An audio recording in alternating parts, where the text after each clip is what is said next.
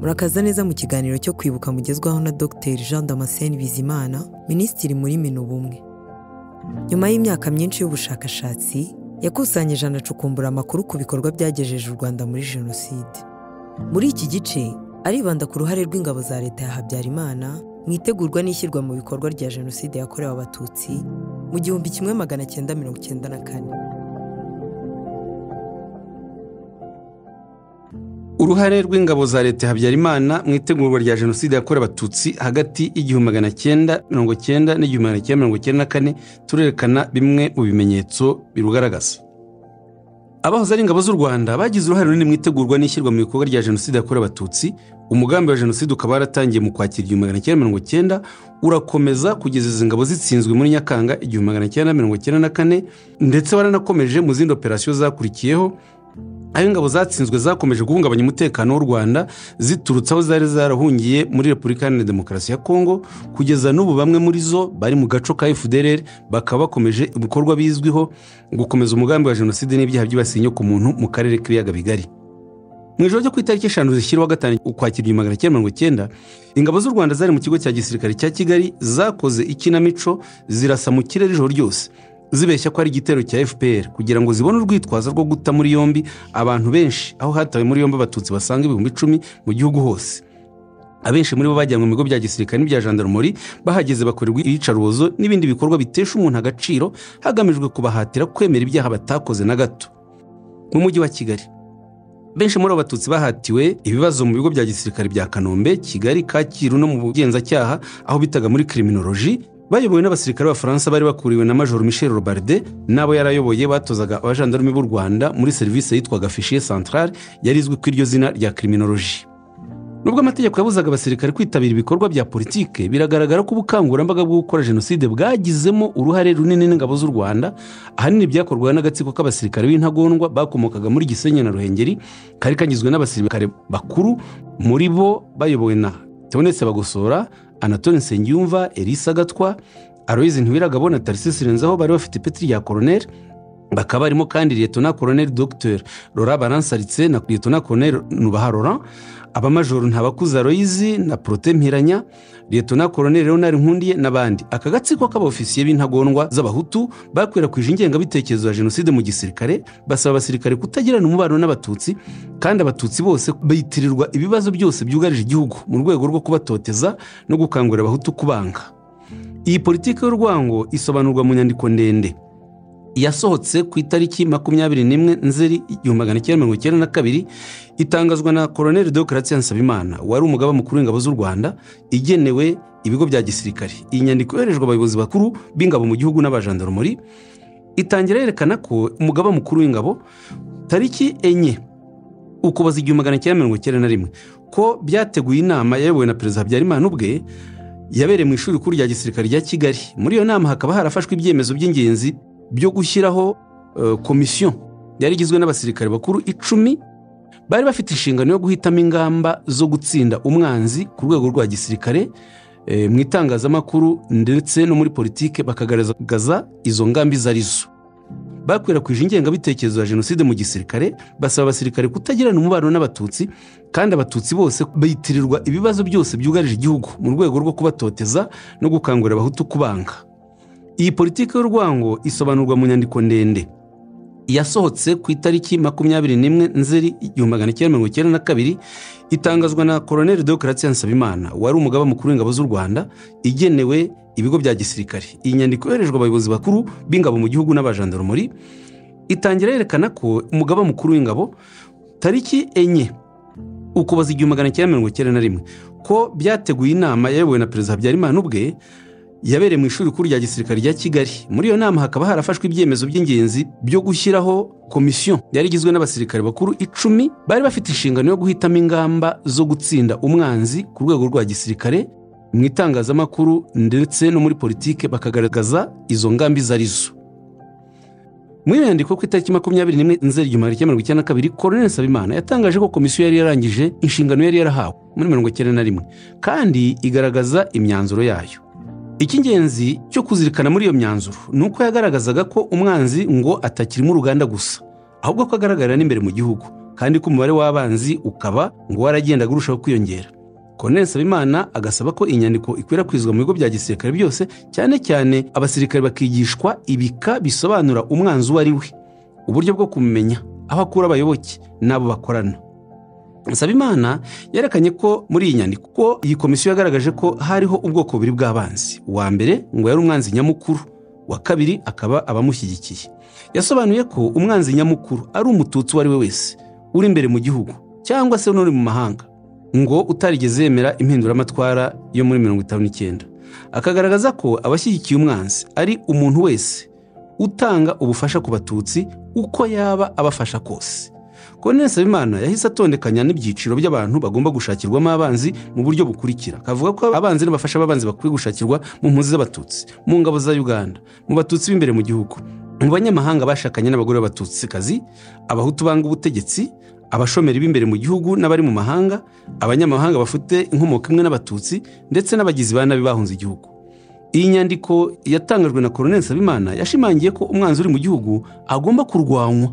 Inagaragaza amazina ya bamwe mu bacuruzi bakomeye biganjemo abatutsi bafatwaga nk'abanzi hakavugwa Valence kaje guhakwa n'amasosiyete ye ya ERP Korwako Sodevi na Bakari hakavugwa Evariste Sisi n'amasosiyete ye Asina Paul Rwigara n'amasosiyete ye Silas Majyambere n'amasosiyete ye ya Sorekarerwa Sojeti Danimo Sofati n'ibindi bakavuga Antoine Sebera bakavuga umucuruzi Bertin Makuza n'amasosiyete ye yarimo Rwanda Fomu na Amejerwa bakavuga Mutangana n'amasosiyete ye Volta Super Torirwa Hydrobat ndetse n'abandi. Colonel Nsabimana yashimangiye ko amabwiriza akubiye muri iyi nyandiko ya gisirikare azafasha igisirikare cyose kumva ko bidakwiye gushyigikira amasezerano y'amahoro yarusha yari hagati ya guverinoma y'u Rwanda na FPR iyi nyandiko yategetse abayobozi b'ingabo kumenyesha buri gihe uko abasirikare bakiriye aya mabwiriza akubiye muri iyi nyandiko. Nyuma yo gushyira hanze iyi nyandiko yatangajwe n'ingabo z'u rwanda yerekana ko abatutsi ari abanzi b'u rwanda imyiteguro ya jenoside mu ngabo yari ihutishijwe kandi bikorwa mu buryo bweruye. Dore bimwe mu byakozwe. Ku itariki icyenda mutarama igihumbi kimwe mirongo icyenda na gatatu koroneli bagosora icyo gihe wari umuyobozi mukuru muri minisiteri y'ingabo wari mu masezerano y'amahoro yarusha yanze ibyari bimaze kwemezwa muri ayo masezerano. Noneho atangaza ati ndatashye. Ngiye kubategurira imperuka. Ubwo mu by'ukuri yavugaga imperuka y'abatutsi. Tariki makumyabiri mutarama igihumbi kimwe mirongo icyenda na gatatu agatsiko k'abasirikare bakuru bari bayobowe na koroneli bagosora bashinze rwihishwa ishyirahamwe rya gisirikare bise amasasu. Bagosora akaba yariyitaga komanda mike tango akaba yari n'umujyanama mukuru w'iryo shyirahamwe amasasu. Iri shyirahamwe kuri iyo tariki ryoherereje perezida habyarimana ibaruwa imumenyesha ko ryashinzwe kandi ko rifite intego yo gukomeza intambara yo kurwanya fpr kuvangura abatutsi no gutegura ubwicanyi bushingiye ku moko. Iri shyirahamwe ryabyanditse muri aya magambo ko rifite inshingano zo kumenya no kwica bibaye ngombwa. Abanyapolitiki b'indyarya bitwikira intambara bagakora ibishoboka byose kugira ngo bagume mu myanya yabo cyangwa bitwaza andi mayeri kugira ngo babone imyanya y'ubuyobozi mu butegetsi. Kuri iyo tariki ya makumyabiri mutarama igihumbi kimwe mirongo icyenda na gatatu iri shyirahamwe amasasu ryashyize ahagaragara urutonde rw'abantu bagomba kwicwa hashingiwe ku gisobanuro cy'umwanzi cyatangajwe mu nyandiko yo muri nzeri igihumbi kimwe mirongo icyenda na kabiri yashyizwe ahagaragara n'umugaba w'ingabo z'u rwanda koroneli icyo gihe deogratia nsabimana. Gushingwa kuri shyirahamwe amasasu byakozwe mu rwego rwo gushyira mu bikorwa ibikubiye mu yindi nyandiko y'ibanga. Yari yaranditswe ku itariki makumyabiri na karindwi nyakanga igihumbi magana cyenda mirongo icyenda na kabiri yandikiwe umugaba mukuru w'ingabo z'u rwanda perezida habyarimana. Iyo nyandiko ikaba yaranditswe na koroneli anatoni nsengiyumva wari ukuriye ishami ry'ubutasi rya gisirikare. Ikaba yari igamije kumenyesha perezida habyarimana ibijyanye no kudashyira mu bikorwa amasezerano y'amahoro yarusha n'ibyariho biyaganirwaho. Koroneli nsengiyumva yagaragaje ko ibiriho biganirwa muri aya masezerano biramutse bishyizwe mu bikorwa. Ati ingabo z'u rwanda ziteguye gutsemba abatutsi. Hamwe n'abandi bayobozi bazaba bagize uruhare muri ibyo bibazo. Zizihorera ku basirikare bakuru bazemera ko abasivile bashyira mu bikorwa iby'ayo masezerano kandi batayashaka. Koroneli nsengiyumva agashimangira ko abasirikare bafata minisitiri w'intebe disimasi nsengiyaremye na minisitiri w'ububanyi n'amahanga boniface ngurinzira ko bateshutse ku nshingano zabo ndetse akavuga ko na perezida wa repubulika ubwe ashukika. Mu magambo atomoye. Koroneli nsengiyumva mu by'ukuri yaburiraga perezida habyarimana ko ibishobora kumubaho ari bibi. Ati niba uyu muperezida atarengeye inyungu z'abaturage be niba adasubiye inyuma vuba ngo yisubireho azisanga wenyine. Niba umukuru w'igihugu adafashe inshingano ze zo kurengera igihugu ngo aziteho agomba kwegura. Bitabaye ibyo abandi bazabimukorera. Biraboneka ko binyuze muri iyi nyandiko ingengabitekerezo ya jenoside yari itangajwe ku mugaragaro kandi ishyirwa mu bikorwa n'izi nyandiko zitandukanye za gisirikare. Iyi mitekerereze yari imitekerereze yo gutegura jenoside yarangaga ubuyobozi bukuru bw'ingabo z'u rwanda. Kuva mu mwaka w'igihumbi kimwe mirongo icyenda na rimwe leta yatangiye gukwirakwiza intwaro mu baturage muri komine nyinshi cyane cyane mu majyaruguru y'igihugu muri perefegitura za byumba ruhengeri na gisenyi. Ikwirakwizwa ry'izi ntwaro ryabanjirijwe n'amahugurwa ya gisirikare yahawe abaturage mu bigo bya gisirikare bya mukamira gabiro bigogwe ndetse n'ahandi. Nko ku biro bya komine muvumba buri mu karere ka nyagatare intwaro zatanzwe zakoreshejwe mu bwicanyi butandukanye bwabereye muri gisenyi ruhengeri n'imurambi. Raporo z'inzego z'ubutasi nkuru z'u rwanda zo kuva mwaka w'igihumbi kimwe mirongo icyenda na rimwe n'igihumbi cyenda mirongo icyenda na kabiri zigaragaza uko ibyo bikorwa byateguwe n'imigendekere yabyo. Izindi nyandiko zigaragaza ko mu gushyingo igihumbi cyenda mirongo icyenda na rimwe perezida habyarimana yatanze amabwiriza yo gushyiraho icyo yise komite ishinzwe umutekano w'abaturage. Iyi komite mu by'ukuri icyo yakoraga kwari ugutegura interahamwe zizakora ubwicanyi no kuziha intwaro. Tariki makumyabiri n'eshatu nzeri igihumbi magana cyenda mirongo icyenda na kane. Umuyobozi w'urwego rw'iperereza ry'u rwanda muri perefegitura ya byumba witwaga visente rwirahira yasohoye inyandiko yibutsa raporo y'inama y'umutekano yabereye muri superefegitura ya ngarama. Gahunda yayo ikaba yari iyo gusuzuma ukwirwanaho kw'abaturage. Visente rwirahira yatangaje ko abitabiriye iyo nama bose bari bashyigikiye igitekerezo cyo gutoranya mu baturage abasore. Bagomba guhabwa imyitozo ya gisirikare bakanahabwa intwaro kugira ngo bazafashe ingabo z'u rwanda guhangana n'uwo bitaga umwanzi. Inama yasabye ko iki cyifuzo cyashyikirizwa inama y'umutekano itaguye ya byumba yari iteganyijwe kuba ku itariki makumyabiri na zirindwi nzeri igihumbi cyenda mirongo icyenda na rimwe muri perefegitura ya byumba kugira ngo yemeze burundu. Mu yindi nyandiko y'amapaji arindwi yanditswe ku itariki zirindwi gashyantare igihumbi magana cyenda mirongo icyenda na kabiri. Igenewe umuyobozi mukuru w'urwego rw'igihugu w'iperereza uwo mukozi w'iperereza muri byumba vincent rwirahira yagaragarije umuyobozi we uko ibikorwa bitegura jenoside byitwaga ibyo kwirwanaho kw'abaturage biriho bikorwa. Akavuga ko kuri iyo tariki ya karindwi gashyantare igihumbi cyenda mirongo icyenda na kabiri imuvumba habaye inama y'umutekano ya perefegitura ya byumba igamije gusuzuma imikorere yo kwirwanaho. Kandi ko hafashwe icyemezo cyo guteza imbere ibyo bikorwa byo kwirwanaho hagakwirakwizwa izindi ntwaro nyinshi. Ndetse imyitozo ya gisirikare igenewe abasore b'abasivile igakomeza. Rwirahira yibukije ko minisiteri y'ingabo yari yemeye gutanga intwaro magana atatu zo gukwirakwiza mu basore b'abasivile bazaba batoranyijwe uhereye ku batuye ku mipaka ya byumba na ruhengeri. Rwirahira agasobanura ko inama yaje kwemeza ko intwaro ijana na mirongo inani zizahabwa abari batuye muri perefegitura byumba kandi ko izindi ntwaro zari zagenewe abo muri perefegitura ruhengeri. Akabivuga ko ibyumba intwaro zatanzwe mu buryo bukurikira ko muri komine muvumba hatanzwe intwaro mirongo irindwi n'esheshatu komine kiyombe intwaro mirongo ine komine kivuye intwaro mirongo ine komine ya cyumba imbunda makumyabiri n'enye. Rwirahera kandi akavuga ko inama yemeje ko ari ngombwa gushakira ubushobozi abasore magana abiri na mirongo itanu. Bakazakurikiranwa hafi na ba burugumesitiri babo.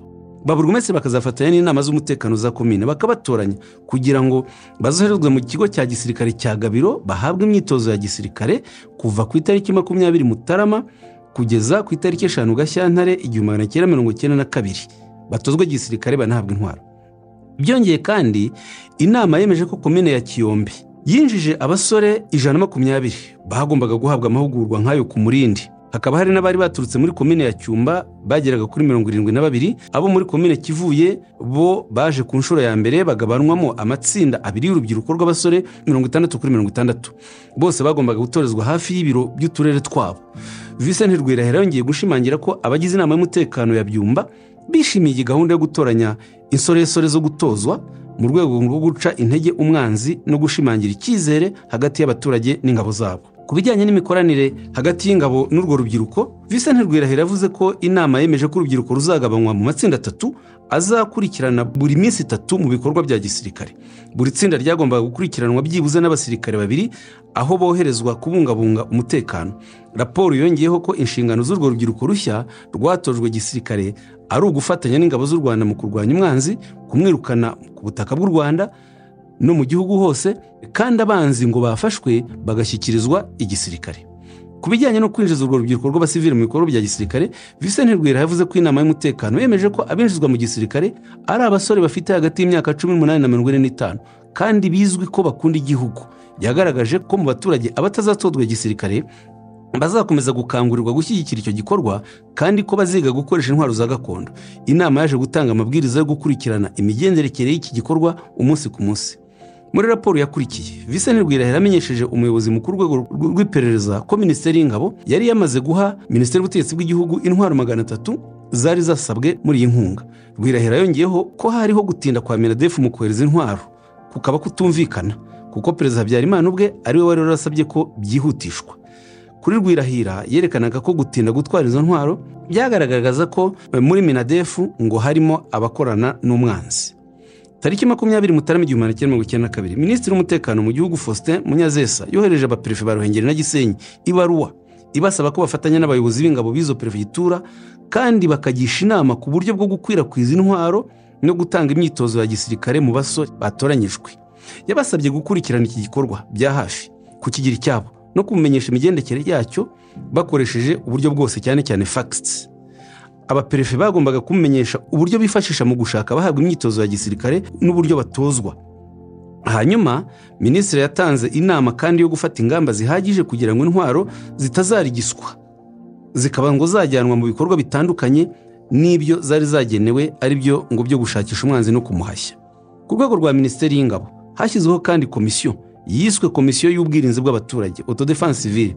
Yari ishinzwe gukurikirana ku rwego rw'igihugu ishyirwa mu bikorwa ry'iki gikorwa. Komisiyo yari igizwe n'abasirikare bane bakurikira liyetona koloneli furemu rwabarinda majoro paul rwarakabije majoro fonse nteziryayo na majoro kankwanzi rusi wari n'umucungamari muri minisiteri y'ingabo icyo gihe. Amakuru yerekana ko gukwirakwiza intwaro mu baturage yari gahunda ya perezida habyarimana ubwe. Urugero ni inyandiko mvugo yo ku itariki icyenda nyakanga igihumbi magana cyenda mirongo icyenda na rimwe yabereye ku cyicaro gikuru cy'ingabo yari iyobowe na minisitiri w'umutekano w'imbere mu gihugu general augustin ndindirimana iyi nama ikaba yari yahuje abayobozi bo mu nzego z'ubutasi za gisirikare na perezidansi abayitabiriye ni aba bakurikira liyetona koloneli rona rutayisire wari ushinzwe serivisi y'ubutasi muri jandarumuri y'igihugu liyetona koloneli furemu rwabarinda wari ushinzwe ibikoresho mu ngabo z'u rwanda. Wa, wa jandarumuri wari ushinzwe serivisi z'iperereza muri jandarumuri pierre karaveri karangwa justin munyaneza wari umukozi w'ibiro bikuru by'iperereza efuremu ndangamira nawe wari umukozi wa serivisi nkuru y'iperereza mu gihugu. Liyetona koloneli enjeniyeri gregoire rutakamize wari umwanditsi w'inama. Iyi nyandiko mvugo yerekanye ko gahunda y'umunsi hariho gusuzuma ishyirwa mu bikorwa ryihuse ry'icyifuzo cya perezida wa repubulika kijyanye n'ubwirinzi bwo mu gihugu. Perezida wa repubulika yari yabitegetse muri aya magambo avuga ngo abaturage bagomba gutoranywa bagahabwa ibikoresho bisobanutse kandi bihagije byo kwirindira umutekano mu gihugu ku buryo nta n'umwe uzongera gutinyuka gutera igihugu. Iyi nama yemeje ko uburyo bwo gushyira mu bikorwa iyi gahunda ya perezida habyarimana bwari buhari kuko abaturage biganjemo urubyiruko bari baramaze gutoranywa. Igitekerezo cyo gushyiraho imiterere y'urwo rubyiruko rwaje kwitwa interahamwe kiragaragazwa neza n'imyanzuro y'iyi nama. Umupolisi wo mu ngabo z'ububirigi wari muri minuwari wari ushinzwe gukurikirana buri munsi ibintu byose byaberaga mu rwanda no gutanga raporo ku bamukuriye yarabyerekanye. Raporo ya sena y'ububirigi yo muri mwaka w'igihumbi cyenda mirongo icyenda na karindwi yavuze ku ruhare rw'ububirigi muri jenoside yakorewe abatutsi yagaragaje ko uwo musirikare yitwaga liyetona nisi. Akaba yari afite izo nshingano yohereje ibiro by'umugaba mukuru w'ingabo z'ububirigi raporo makumyabiri n'icyenda zose z'ibyabariraga mu rwanda kuva ku itariki cumi n'icyenda mutarama kugeza ku itariki cumi n'imwe werurwe igihumbi magana cyenda mirongo icyenda na kane. Akaba yaraje gusimburwa na liyetona witwaga decuperi sena y'ububirigi imaze gusoma no gusesengura raporo za liyetona nisi yoherezaga buri munsi. Yemeje ko liyetona nisi yatanze ibimenyetso umunsi ku munsi ku byo yabonaga mu rwanda by'itegurwa rya jenoside bijyanye na gahunda yari yarateguwe na leta y'u rwanda icyo gihe yo gutsemba abatutsi. Nisi agasobanura ko ingabo z'u rwanda zarwanyije imishyikirano y'amahoro yaberaga arusha kandi ko we ubwe yagiye asoma inyandiko zitandukanye zakorwaga n'abofisiye b'ingabo z'u rwanda ishimangira iyo mitekerereze yo kurwanya imishyikirano y'amahoro. Aya makuru kandi yanemejwe na koroneli wariteri barisi w'umubirigi wari umwe mu bawofisiye b'ingabo z'ububirigi bari muri minuwari yabigaragarije sena y'ububirigi mu mwaka w'igihumbi magana cyenda mirongo icyenda na karindwi akaba yaranabisubiriyemo komisiyo mucyo ubwo yatangaga ubuhamya imbere y'iyo komisiyo mu mwaka w'ibihumbi bibiri na karindwi. Ku itariki makumyabiri n'icyenda werurwe igihumbi kimwe mirongo icyenda na gatatu jenerali deogratian nsabimana umugaba mukuru w'ingabo z'u rwanda yayoboye inama yakozwe rwihishwa yo kwihutisha ibikorwa byo kwirwanaho kw'abaturage byiswe kwirwanaho kw'abaturage. Byari bigamije gushishikariza abaturage b'abahutu kwica abatutsi no kubaha ibikoresho bikenewe kugira ngo babashe gukora ubwicanyi. Muri iyi nama yahuje abayobozi bo mu mujyi wa kigali abayobozi bakuru b'ingabo abayobozi b'imitwe ya politiki yari ibumbiye muri hit power impuzamugambi n'interahamwe hemejwe ko intwaro zigomba gukomeza gutangwa mu baturage kandi zikanazakoreshwa mu bwicanyi. Inama y'ibanga. Yagarutsweho no muri raporo y'abadepite b'abafaransa bari bayobowe na paul kires mu mwaka w'igihumbi cyenda mirongo icyenda n'umunani aho basobanuye bashingiye ku nyandiko z'ibanga zatanzwe na minisiteri y'ingabo y'ubufaransa ko iyo nama yabaye mu ibanga rikomeye kandi ko guverinoma y'ubufaransa yari ifite inyandiko mvugo yayo. Iyi raporo y'abadepite b'ubufaransa yashimangiye ko igikorwa cyo gukwirakwiza intwaro mu nterahamwe cyari cyaramenyekanishijwe ku itariki makumyabiri n'ebyiri mutarama igihumbi magana cyenda mirongo cyenda na kabiri muri telegaramu yoherejwe na koroneli bernard kisake w'umufaransa wari umuyobozi mukuru muri ambasade y'ubufaransa mu rwanda wari ushinzwe ubufatanye mu bya gisirikare hagati y'u rwanda n'ubufaransa muri iyi telegaramu yo kuri makumyabiri na kabiri mutarama mirongo icyenda na kabiri koroneli kisake yari yarerekanye ko mu by'ukuri ikwirakwizwa ry'intwaro ryayobowe na minisitiri w'ubutegetsi bw'igihugu n'iterambere ry'icyaro faustin munyagezesa rikaba ryarakorewe muri perefegitura zo mu majyaruguru y'igihugu gisenyi na ruhengeri na byumba. Izo ntwaro zikaba zarahawe abasore batoranyijwe n'abayobozi b'izo perefegitura ndetse imyitozo kuri abo basore igatangwa n'ingabo z'u rwanda. Koroneli kisaka akemeza ko hashingiwe kuri ibyo haragaragaraga ubufatanye budasanzwe hagati y'abayobozi ba guverinoma abayobozi b'inzego z'ibanze abayobozi b'ingabo n'interahamwe. Akanzura ko interahamwe nta gushidikanya zizakoresha izo ntwaro mu kwica abantu. Inyandiko yo ku itariki makumyabiri n'imwe nzeri igihumbi magana cyenda mirongo icyenda na kabiri twavuze haruguru yerekanye ko abatutsi ari abanzi b'igihugu cyabo niyo yashingiweho mu gutoranya abagombaga kwicwa. Ayo makuru yanemejwe na jean birara wahoze ari guverineri wa banki nkuru y'u rwanda wabihaye umunyamakuru w'umubirigi marie france cro ku itariki makumyabiri n'enye z'ukwa gatanu igihumbi cyenda mirongo icyenda na kane avuga ati urutonde rw'abantu bagombaga gutsembwa rwariho amazina mirongo itandatu mu mpera z'umwaka w'igihumbi cyenda mirongo icyenda na kabiri amazina aza kugera kuri magana atanu muri mata igihumbi cyenda mirongo icyenda na gatatu hanyuma ku itariki makumyabiri gashyantare igihumbi cyenda mirongo icyenda na kane saa sita mubyara wanjye jenani nsabimana wari umugaba mukuru w'ingabo z'u rwanda yanyeretse urutonde rw'amazina igihumbi na magana atanu y'abagombaga kwicwa bo muri kigali yonyine. Ibyo ntibyatangajwe na jean berike masibirara kuva mu mwaka w'igihumbi kimwe icyenda na gatatu ishyirahamwe amasasu ryashinze amashami mu bigo byose bya gisirikare. Uhereye ku mitwe ikomeye ya gisirikare yariho nka batayo ya parakomando yayoborwaga na majoro ntabakuze wakomokaga muri komine karago ku gisenyi batayo yatwaga iy'abarasa indege antiyayeriyene yayoborwaga na leta koroneli stanislas hakizimana wakomokaga mu ruhengeri.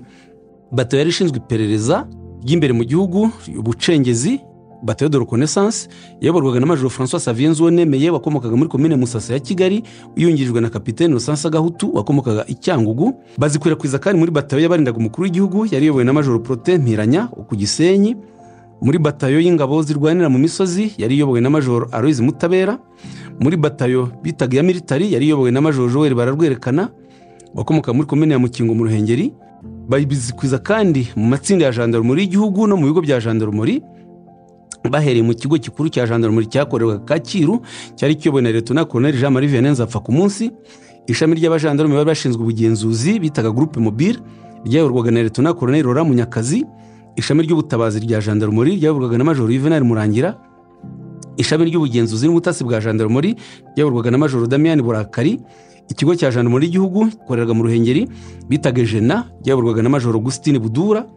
Ikigo cya jandarumuri cya ruhengeri cyayoborwaga na majoro emmanuel munyawera. Ikigo cya gisenyi cyayoborwaga na majoro apolineri biganiro. Ikigo cya kibuye cyayoborwaga na majoro jean baptiste jabo. Ikigo cya butare cyayoborwaga na majoro siraki habyara batuma. Ikigo cya rwamagana cyayoborwaga na majoro havugiyaremye ikigo cya jandarumuri ya gikongoro cyayoborwaga na majoro christophe bizimungu. Ariko uyu majoro christophe bizimungu yararwaye indwara ya sida yari igeze ku buremere bwa kure. Akunganirwa na kapitene sebura faustin wabaye intagondwa mu rwego rwo hejuru mu gukora jenoside ku gikongoro. Bikwizwa kandi mu kigo cya jandarumuri cya cyangugu cyayoborwaga na majoro vincent munyarugerero. Biragaragara ko ibigo bya gisirikare n'ibya jandarumuri byakwirijwemo intwaro ndetse n'izi nyandiko z'ubukangurambaga. Muri rusange izi nama zigishaga abasirikare n'abajandarume uburyo bwo kwitegura igitero bitaga icya nyuma cyo kwikiza abatutsi ndetse umunyapolitiki uwo ari we wese washyigikira igikorwa cyo guhuza ingabo n'amasezerano y'amahoro yarusha muri rusange. Ikindi kimenyetso cy'ingengabitekerezo ya jenoside yaranze abanyamuryango bishyiranywe amasasu. Niba ari we ku itariki ebyiri ukuboza igihumbi magana cyenda mirongo icyenda na kane yanditswe n'umuyobozi w'umubirigi wari ushinzwe umutekano yerekana ko abanyamuryango b'iri shyirahamwe baburiye perezida habyarimana ko gusinya amasezerano y'amahoro yarusha bizaba ikimenyetso cy'intege nke kuri we kandi ko bizashyira iherezo ku buzima bwe. Gushishikariza abasirikare kudashyigikira guhuza ingabo byakurikiwe no kwica urusorongo bamwe mu basirikare b'abatutsi bake bari mu ngabo z'u rwanda bari mbarwa. Bamwe mu bishwe bazize uburozi abandi barashimutwa nko mu kigo cya gisirikare cya kanombe umwe mu bari bungirije majoro ntabakuze witwaga liyetona silvestre nzabonariba yarashe mugenzi we w'umututsi amurasira mu maso y'abandi basirikare. Iyicwa ry'uyu musirikare ryakomojweho ku itariki esheshatu mata bibiri na kane. Mu rukiko mpanabyaha mpuzamahanga rwa rusha mu rubanza rwa majoro ntabakuze wayoboraga abaparakomandi kanombe. Kugeza ubu liyetona nzabonariba nawe ufungiye ubungubu muri gereza ya murindi yemeye koko ko ari we wakoze ubu bwicanyi muri perefegitura z'amajyaruguru y'igihugu cyane cyane gisenyi na ruhengeri ubwicanyi bwinshi bwibasiye abatutsi bwakozwe hagati ya mirongo icyenda mirongo icyenda na gatatu n'abasirikare n'abajandarume ntihagira n'umwe uhanwa abatutsi kandi barafashwe bicirwa mu bigo bya gisirikare bya mukamira bigogwe na gisenyi. Muri mirongo icyenda na gatatu abanyeshuri b'abatutsi basezerewe muri kaminuza ya mudende. Mu gihe bamwe mu bahutu batari bashyigikiye amashyaka y'abahezanguni ya hutu pawa bahohotewe bagerageza kurengera abatutsi. Abagogwe bari barahunze bava ku misozi yabo bagahungira mu nkike z'iyo kaminuza nabo barishwe. Nyuma y'ibi bikorwa by'ubuzi bwa nabi ubuyobozi bwa kaminuza ya mudende bwafashe icyemezo cyo kuyifunga by'agateganyo ku itariki icumi gashyantare igihumbi kimwe mirongo icyenda na gatatu busaba abanyeshuri gutaha. Mu nzira bataha bamwe mu banyeshuri bamaganywe na bagenzi babo babita ibyitso bya fpr bahagaritswe kuri bariyeri yariho abasirikare bavanwa mu modoka hanyuma bajyanwa mu kigo cya gisirikare cya mukamira aho bakorewe iyicarubozo bamwe barahapfiriye. Ubuhamya bwatanzwe n'abarokotse ubwo bugizi bwa nabi. Bamwe bavuze ko abanyeshuri biciwe muri icyo kigo imbere y'abasirikare b'abafaransa bari mu rwanda muri kiriya gihe. Raporo y'ishyirahamwe nyarwanda ryaharaniraga uburenganzira bwa muntu yitwaga association rwandaise pour la défense des droits de la personne et de liberté publique adl yasohotse muri werurwe igihumbi kimwe mirongo icyenda na gatatu yagaragaje ko ubwo bwicanyi bwatangiye muri werurwe mirongo icyenda na rimwe buyobowe n'umuyobozi wa komine mutura aho iyi kaminuza yari iherereye. Uyu muyobozi uyu burugumesitiri witwaga bakiye jean berikimasi yafatanyaga n'abasirikare bo mu kigo cya bigogwe. Muri icyo gihe abanyeshuri batandatu b'abatutsi barishwe abandi barakomeka bikabije. Twabibutsa kandi ko no mu kwakira igihumbi magana cyenda mirongo icyenda hari abanyeshuri bafunzwe b'imudende bazira akarengane barimo uwitwaga celestine parimehutu wakomokaga muri komine ya mutura. Ku bijyanye n'ubwicanyi bwakorewe abanyeshuri muri mirongo icyenda na gatatu muri kaminuza ya mudende reka twifashishe ubuhamya bw'ababorokotse harimo ubw'uwitwa jerome nyagatare wakomokaga muri komine ya murama igitarama ubu ni mu karere ka nyanza. Dufite kopi y'ubuhamya bwanditse yatanze ku itariki icyenda werurwe igihumbi magana cyenda mirongo icyenda na gatatu ubwo yari avuye muri kasho yari mu kigo cya gisirikare cya mukamira. Yatawe muri yombi n'abasirikare maze akurwa ku gahato mu modoka yarimo hamwe n'abandi banyeshuri ubwo yavaga imudenda ajya i kigali. Dore bimwe mu bigize ubuhamya bwe. Yagize ati nyuma ya jenoside yakorewe abagogwe mu mwaka w'igihumbi magana cyenda mirongo icyenda na rimwe abayobozi ba komine mutura ntibahagaritse ubwo bwicanyi. Bakomeje kuba urwango n'amacakubiri mu baturage bagamije kubakangurira kwica. Ubu bwicanyi bwibasiye cyane cyane abagogwe bo muri iyo komine bari bakennye cyane kuko bari baratereranywe. Bibasiye kandi abandi banyarwanda bari mu mashyaka ya politiki atari emerenide na sederi mu ijoro ryo ku itariki esheshatu mutarama igihumbi magana cyenda mirongo icyenda na gatatu abatutsi barahohotewe. Byarateguwe bishyirwa mu bikorwa muri iyo komine abagore benshi n'abana bahungiye muri kaminuza ya mudende amazu menshi yarasenyutse inka zarasahuwe ziraribwa. Urwitwazo bw'ubwo bwicanyi ni isubukurwa ry'imirwano mu gice cya ruhengeri. Abaturage b'inzirakarengane bongeye kwibasirwa. Bicwa nta tandukaniro rishyizwe hagati y'abakuze n'impinja bikorwa n'ubuyobozi bw'amakomine abarokotse ubwicanyi ku misozi bahungiye muri kaminuza ya mudende abenshi muri bo baje bakomeretse bikabije kandi bakeneye kuvurwa. Niyo mpamvu nshishikariza imiryango iharanira uburenganzira bwa muntu ikorera mu rwanda amashyirahamwe yose yita ku batishoboye ndetse na komisiyo yashyizweho na guverinoma ishinzwe iperereza ku bwicanyi bwakorewe abaturage muri perefegitura gisenyi ruhengeri na byumba kwihutira gukurikirana iki kibazo. Birakenewe kwihutira gufasha imiryango ifite bene yo bishwe cyangwa baburiwe irengero kuko ibayeho nabi muri iki gihe. Hagomba gutangizwa amaguru mashya iperereza kuri burugumesitiri bakiye agakurikiranwa mu butabera kubera uruhare yagize muri ubwo bwicanyi. Ku itariki icumi gashyantare igihumbi kimwe mirongo icyenda na gatatu mu cyumweru kibanziriza ibiruhuko. Umuyobozi wa kaminuza yaraduteranyije maze atubwira ibi bikurikira. Ati ambasade zacu zatugira inama yo gufunga kaminuza by'agateganyo kubera umutekano muke n'intambara byiganje muri aka karere. Ndabasaba gukusanya ibintu byanyu vuba kuko imodoka ziza kubatwara uyu munsi nyuma ya saa sita cyangwa ejo mu gitondo. Abanyeshuri bari benshi ku buryo kubatwara byasabye iminsi ibiri. Iki cyemezo nticyashimishije abantu bose cyane cyane abanyeshuri b'abarwanashyaka ba emeride na sederi babivuze ku mugaragaro ko kigamije kurinda abatutsi no kuborohereza kujya mu buhungiro. Nyagatare ati ndabamenyesha ko abo banyeshuri b'intagondwa bo muri emeride na sederi bari bakoze urutonde rw'abanyeshuri mirongo ine na babiri bagombaga kwicwa. Ati navuye muri kaminuza ku itariki cumi n'ebyiri gashyantare igihumbi kimwe mirongo icyenda na gatatu muri otobisi ya onataracom yatwaraga abanyeshuri bajyana i kigali. Indi modoka ya minibisi yatwaye abajyaga i gitarama butare n'ahandi. Ngeze ku mukamira bisi narimo kubera ko nari ngiye i kigali yahagaze ahari hari bariyeri y'abasirikare umwe muri bo yaje agira ati jerome nyagatare nasohoke n'ivarisi ye naratitiye kubera ubwoba. Nahise nibuka amarorerwa yakorewe umugore witwa fatuma wishwe ndeba kuri uwo muhanda. Yishwe n'abo basirikare. Uwo musirikare yararakaye. Yazengurutse imodoka avuga ati nyagatare ninde? Nyagatare ninde? Ubwoba nari mfite bwahise bunshiramo ndamwiyereka. Uyu musirikare afite inkoni mu ntoki. Yayinkubise mu mutwe ankura muri bisi bunyamaswa. Nyuma yaho minibisi yari inyuma yacu yarahageze irahagarara. Yari itwawe n'umuyobozi w'umuryango mpuzamahanga wa adara sawuzi witwaga wirikensi wirikensi yatangajwe n'amaraso yatembaga cyane mu gahanga kanjye aho umusirikare yari yankomerekeje. Yafashe umwanzuro wo gukurikira abo basirikare bombi banjyanaga mu modoka yabo berekeza mu kigo cya mukamira. Twakoze urugendo rw'iminota cumi n'itanu kugira ngo tugereyo. Tugezeyo nakiriwe n'umusirikare ufite ipeti rya liyetona wambaye amadarubindi yijimye. Hanyuma yansomeye ibirego nashinjwaga ati umuyobozi wa komine mutura ashinja jerome nyagatare ufatanyacyaha n'inyeshyamba za fpr akabishingira ku kuba yarakoze muri kaminuza no hanze yayo amatsinda y'abantu barimo gutegura umugambi wo guhirika ubutegetsi buriho. Icya kabiri ngo kuba narakusanyirije nkoresheje radiyo amakuru mu gihugu hose kugira ngo nyashyikirize abayobozi ba fpr icya gatatu ngo kuba naramenye aho intwaro n'amasasu byari bihishe mu ruhengeri. Liyetona ntiyigeze ampa akanya na gato ko kugira icyo mvuga. Yahise atanga itegeko ko banjyana muri kasho idasanzwe. Nagize ubwoba bwinshi kuko imbere ya kasho hari abasirikare barakaye cyane. Bariho bakubita undi muntu ushinjwa kwitwa kuba ikiso cya fpr muri ako kanya uwo muntu yapfiriye mu maso yanjye mureba. Nagize ubwoba numva urupfu rwanjye rwegereje. Banzanye muri kasho. Ijoro ryose ryabaye nk'inzira y'umusaraba kuri ye. Abasirikare bansimburanagaho bankubita imigeri inkoni ibibando. Bantera ubwoba bambwira ko bagaruka kunyica. Ku itariki cumi n'eshatu gashyantare igihumbi kimwe mirongo icyenda na gatatu ahagana mu ma saa tatu umusirikare ufite ipeti rya majoro yampamagaye mu biro bye. Uyu wari umwanya wo kumuha ibisobanuro bijyanye n'ibirego by'ibinyoma nashinjwaga. Mvuye mu biro bye sinongeye guterwa ubwoba uwo munsi wo ku matariki cumi n'eshatu na cumi n'enye gashyantare namenye ko byatewe n'uko ikibazo cyanjye cyamenywe n'abayobozi bakuru i kigali. Bari bazi ko nafashwe mpohotewe kandi bari batangiye guhamagara abayobozi ba gisirikare b'ikigo cya mukamira basaba ko ntagirirwa nabi. Iriya kasho yitwaga ko idasanzwe yo mu kigo cya mukamira yaberagamo amahano menshi. Ku itariki cumi n'eshanu gashyantare igihumbi kimwe mirongo icyenda na gatatu liyetona navuze haruguru. Wambaraga amadarubindi yijimye. Yaraje. Yankuye muri kasho anshyira mu modoka ya gisirikare ansubiza muri kaminuza ya mudende. Ku munsi nafatiweho ni ukuvuga tariki cumi n'ebyiri gashyantare igihumbi kimwe mirongo icyenda na gatatu igihe imodoka nari ndimo ihagaritswe kuri bariyeri ya mukamira. Abo basirikare bari bafite urutonde basomamo amazina y'abagombaga kuva muri bisi mu bafashwe harimo abo muri komini ya mutura babwiwe ko nta mpamvu bafite yo kujya i kigali. Abavanywe muri bisi basubijwe muri kaminuza ya mudende amazina yabo nayakurikira.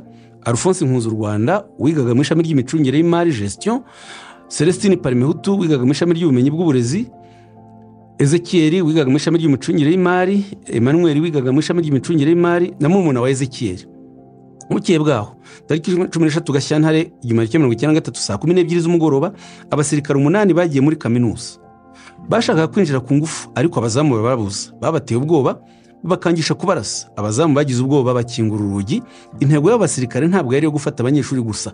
Bashakishaga n'umupasitori w'itorero ry'abadivantisite wari umuyobozi wungirije wa kaminuza wari ushinzwe serivisi zihabwa abanyeshuri witwaga andre mujyarugamba wakomokaga muri komine munami gitarama. Pasiteri ntabwo yari ari iwe bamusanze mu rusengero aho yasezeranyaga abageni. Binjiye mu rusengero rwuzuye batinya kumuhagarika. Bahisemo guhamagara abanyeshuri batatu alphonse nkunzu rwanda celestine parimehutu na emmanuel. Abandi banyeshuri babiri bashoboye kubahunga banyuze rwihishwa banyuze hagati y'inyubako za kaminuza. Aba banyeshuri bose bari abagogwe bakomokaga muri komini ya mutura. Bari abaseribateri usibye parimehutu wari wubatse afite n'umwana umwe. Mu mwaka w'igihumbi kimwe mirongo icyenda na rimwe yafunzwe amezi atandatu ashinjwa ngo kuba icyitso cya fpr afunganwa n'abandi bantu. Umubare wabo warengaga ibihumbi umunani kandi bose bafunzwe baregwa ibirego bimwe. Ubuhamya ni aho bugarukira. Kugeza amagingo aya. Nyagatare amatanga atanga ubuhamya. Baba abayobozi ba kaminuza ndetse n'imiryango y'abo banyeshuri.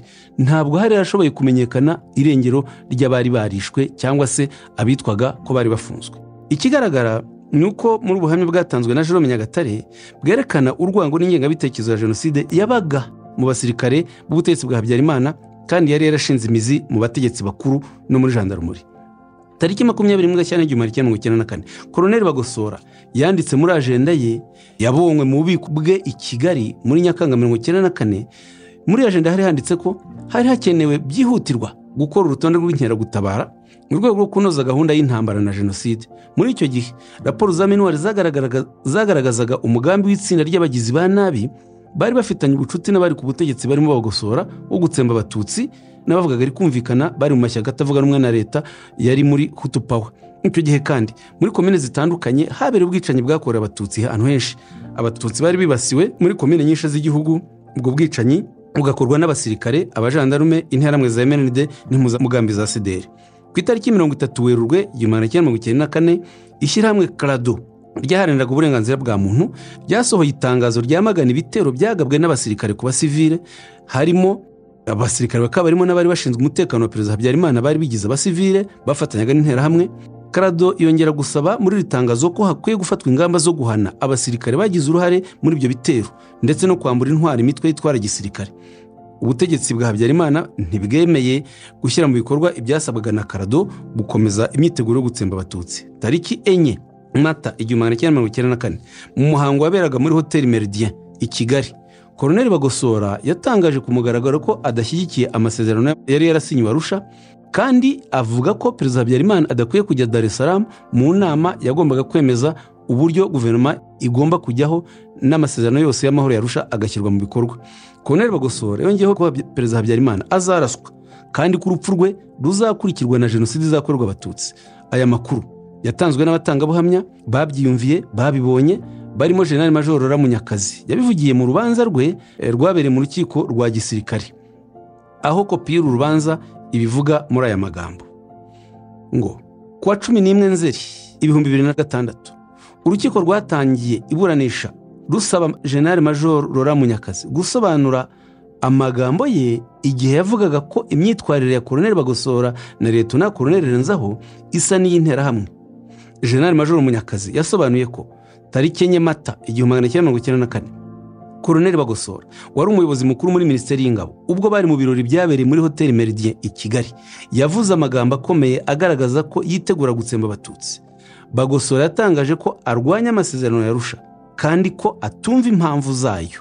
Nubwo yashyizweho umukono na perezida wa repubulika na fpr yavuze ko adashaka ko perezida wa repubulika ajya muri tanzania kandi ko indege ye izaraswa.